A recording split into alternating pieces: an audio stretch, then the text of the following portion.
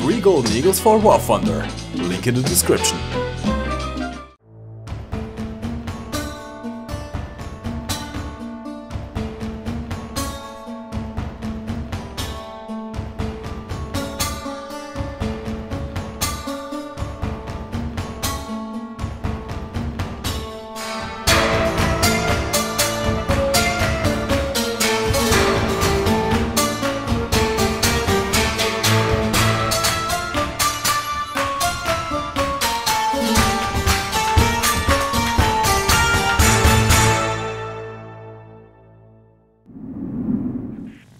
Hello you sexy beasts, welcome back to War Thunder. Today we are taking a look at the Ki 87, one of the only Japanese premium bundles.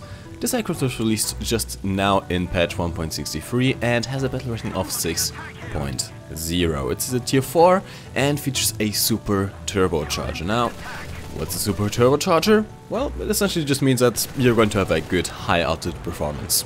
In fact, this aircraft was originally designed to uh, stop the American bombing raids. Your armament consists of two 20mm cannons and two 30mm cannons mounted in the wings. Additionally, you can also carry bombs up to 250 kilograms. However, such is not advised for aircraft of this type. In terms of flight performance, the Ki-87 is unlike any other Japanese aircraft. In fact, the thing I can most compare this aircraft to is the American P-47. This aircraft has an excellent energy retention, like honestly it can just keep its energy for days. It has indeed a better climb rate than the P-47, that's one of the problems that the P-47 has always suffered. And not only does it have a better climb rate than the P-47, it also gets an air spawn on most of the maps. And this is kind of the issue with Japanese at the moment. Japanese army fighters usually fight together with Japanese naval fighters on most, of on most of their maps. And since most of the Japanese home maps are fought at sea and started out from carriers, the army fighters just get an air start. The Radial engine can pull this thing pretty damn hard, resulting in a very good acceleration and top speed of up to 700 something km per hour at high altitudes. In fact, this thing is so so fast at high altitudes, I've even managed to, to keep up with the P-47M. Now, the roll rate is a bit of an issue. This aircraft being so heavy compared to other aircraft actually has a pretty low roll rate and not only that it is also quite unstable especially when rolling and doing uh, slight maneuvers to keep up with enemies or even whilst trying to fire your guns and rolling it tends to shake around your aim points all over the place which makes it almost impossible to get any kind of accurate shots in at long ranges which is especially problematic with the kind of guns that you have equipped on this aircraft. But more on the guns on a later point. Now the roll rate is workable as long as the enemy doesn't really know where you are. Against Spitfires you don't have much of a problem since Spitfires don't really have the roll rate to evade you very effectively either, either way. But when you dive on an F8F and you roll away, most of the time it's better to just try and uh, keep your energy up and gain back altitude and try for another run rather than trying to roll into them because they are always, always going to outroll you. Speaking of diving, this thing is one excellent little diving aircraft. It picks up speed extremely quickly in a dive, in fact catching P-47s yet again, and can go up to 870 km per hour before you risk breaking your wings. Now the absolute maximum maximum that you can go is 900 km per hour, that's when your wings are guaranteed to break, but even before that they can break. So I would suggest not going further than 807 km per hour. And in fact, you can't really, because this aircraft does suffer from compression. After 800 km per hour, your elevators start to not respond as well and if you don't pay attention, if you dive too at too steep of an angle, you are going to pummel into the ground. And keep in mind this aircraft does not get air brakes. So if you go too fast, and you are going to go too fast, given the excellent energy retention of this thing, just try and do wide circles around, and don't worry, you're still going to catch those P-47s.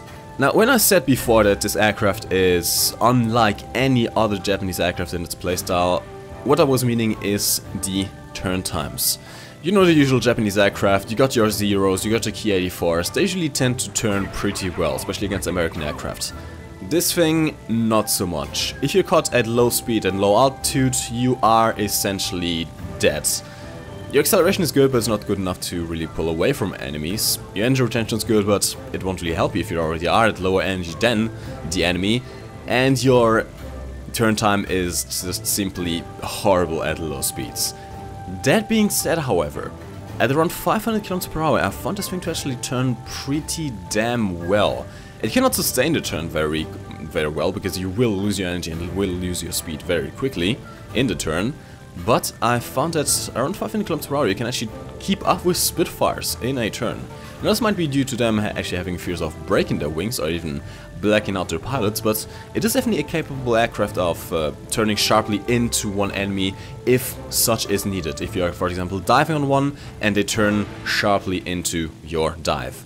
Now let's lose a couple of words on the armament, which I was kind of bashing before. Now the rest of the aircraft is absolutely excellent. The climb rate, together with the energy retention, works perfectly. It makes this thing into a just perfect energy fighter. This is the definition of an energy fighter. However, the guns can be kind of a hit or miss. As I mentioned before, you have two 20mm cannons and two 30mm cannons mounted on the wings. Now sadly, the 30mm cannons are actually mounted on the outer side of the wings, yes. I would rather prefer the 30s to, uh, to be a little closer to the fuselage to mitigate the recoil that they actually produce and more on that a little bit later, but sadly the 20s are actually on the inside. Now the guns have a total burst mass of around 7.5 kilograms per second, which does sound rather low, in fact it is, it is lower than the F7 F3 for example, and this is due to the rather slow uh, rate of fire of the guns. Now, they have a pretty decent muzzle velocity, especially for the 30s, which means that you can actually snipe targets at longer ranges if you hit them. The problem is, even if you hit them, they tend to spark a little bit. Now, this might be just personal experience and experience with being used to different guns, because I've been told by people that these guns are actually some of the best guns that the Japanese gets. And Japanese tend to have bad guns, so I actually believe them. I actually believe that these guns might be the best guns that the Japanese get. But in my experience, they still spark a lot, especially the 30s. I've been... It's actually really hit or miss. These 30s either have the potential to one-shot kill everything they hit, especially at close ranges, or you can put 600 rounds into the wing of a B-17 without it giving a single damn. That's the way these guns function. Now did, I did figure out that if you set your convergence just right and if you close in well enough and have all your guns hitting the target at once, then they can work, but you still have to do some sustained fire. But with the aiming style that I have, it they don't really work. Now the aiming style that I have is coming from my experience with aircraft like the Hunter for example, where I cannot really sustain the lead, so what I do instead is saturate the area in front of the enemy with bullets. And that works great with uh, guns that have a higher rate of fire that can just sat saturate the area with leads. And that's something that doesn't really work with the Ki-87. Given the low fire rate, you can't really saturate the area in front of the enemy. There's a good chance that the enemy is just going to fly in between your bursts. Maybe just receiving one or two hits, which, given on your ping, depending on your ping, can actually just spark off harmlessly. Now I did mention before that the 30s were, were mounted on the outer wing side, and that is problematic once you run out of your 20s. In fact, the 20mm cannons have a slightly higher rate of fire than the 30s and will run out before. Which leaves you with about 100 to 150 rounds of 30mm cannons. Now, when they fire in sync, it's not much of a problem because they actually compensate the recoil of one another. But if you keep the fire down for a little bit longer or if you do bursts, your guns can desync. And once they desync, they will shake your aim all over the place, just pulling the aircraft from one side to the other, which is not very good when you try to go for those long-range shots when you with your last rounds. So overall the gun performance of the Ki-87 is workable and you can indeed do head-ons, but given that the guns are mounted on the wings, you will need a high convergence, and I do recommend pulling out early because this thing is not too responsive with its maneuvers. Finally, we talked about the overall aircraft performance and the armament, but how is the resistance of this aircraft? How well does it take damage? And, well, I'm glad to say, again, against the usual Japanese stigma and, again, just like the P-47, the Ki-87 is excellent at taking damage. Thanks to its radial engine, which is actually quite a small target in the first place, you don't get any kind of water cooling, which means that there's one less system that can go wrong. Only your oil can get hit, and even that hasn't really been hit in the games that I've been playing so far. The radial engine is quite resistant to damage. Now, of course, if you get hit too much, you will lose a lot of power. I've had situations where my, where my engine was red and I could only keep about 300 km per hour in level flights, but it will still get you home. That's the beauty of this, of this engine, of this aircraft. It can just take damage and still bring you home. Even when every single component on your aircraft is red, you can still fly home. Now, don't expect of course to be very combat capable in such a state, but given the high dive speed and the engine retention, you have to simply dive to the deck and you're gone. Even with the damaged engine, you are gone, they're not going to catch up to you.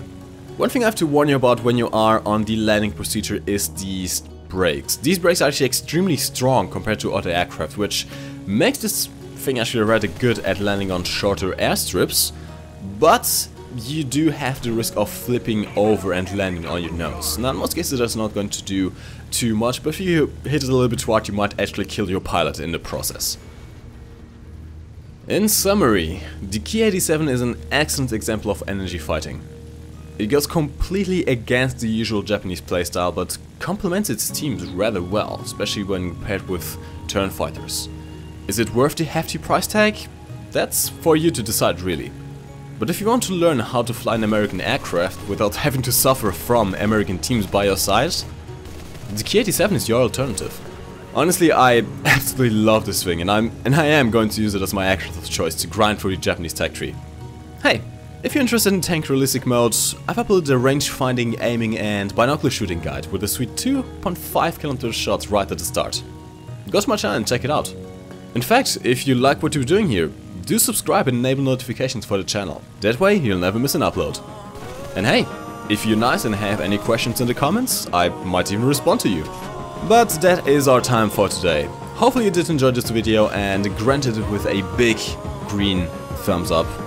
And I shall see you again next week. As always, my name is MikeGoesBoom. Thanks for watching.